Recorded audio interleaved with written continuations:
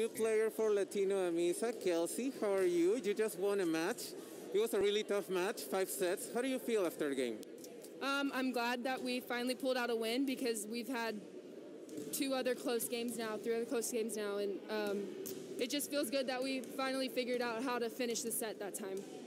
What has happened before, and why were you able to finish this game with a win? Um, today, I just thought we played more as a team, and everybody contributed. It was a complete team effort. We were passing better, we were defending better, we were blocking better, we were hitting better. So I think we just finally got that team chemistry we needed earlier in the week. Okay, so we're seeing you now rotate a little positions. You're trying out as an outside hitter, you're yes. trying out as an opposite hitter. Uh, how do you feel about that, and what is the position that you like the most? Um, so technically, I'm an opposite, but I I do enjoy just being able to play anywhere on the floor, and that's kind of what I've always done. So it does not bother me. I, I love trying different positions and doing whatever's best for the team, and that's kind of what's cool about being able to do outside or right, right side, you know, and playing back row is I can kind of adapt to whatever the team needs me for, you know. So I like I like it. And how do you feel about the coaching in the team? Because I know that you're still trying out as a new team. Yes. Uh, but how do you feel you get along with the team itself and with the coach?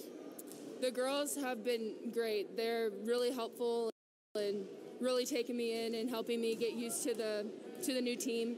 And the coaches as well. They've all been great and they're they're hard on us and they're making us better and which is great because I've only been here for a week and we're already starting to get better. So this keeps up and the girls keep helping me and we keep sticking as a team and the coaches keep on us and making us better, we're going to be really good when now we're just one week away from the start of the league. How do you feel about that? I'm really excited, especially this is kind of a sneak peek of what's going to be. And I really like the style of play. It's really fast. There's good defense. Teams are scrappy. And I'm really excited to actually start playing because I haven't played in a volleyball match since April. So, oh. yeah. That's good. Now, you were before in the Czech Republic League. Yes. Uh, now that you've seen a little bit about the teams in Peru, how do you feel about the difference? What are the most uh, notorious things that you see between the uh, volleyball in there and the volleyball here?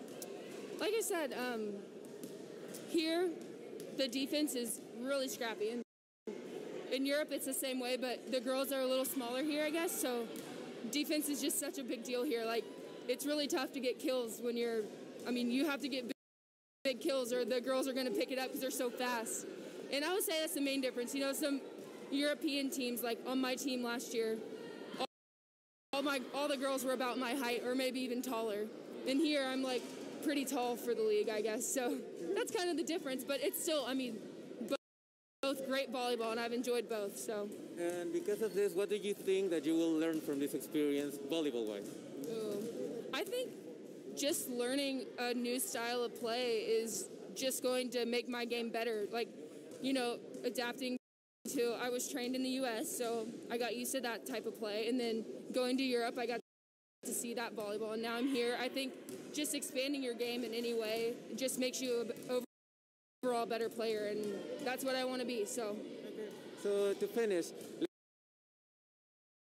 Latino Amisa is actually a really a club with a really long trajectory, but it's now returned to the league after a long time. What do you want to say to the fans of Latino Amisa that are really looking forward to this season? Oh, fans, I'm so excited to be here and I'm really excited to play for you guys and represent you guys and I hope you guys take me in just like I want to take you guys in. So thank you for having me.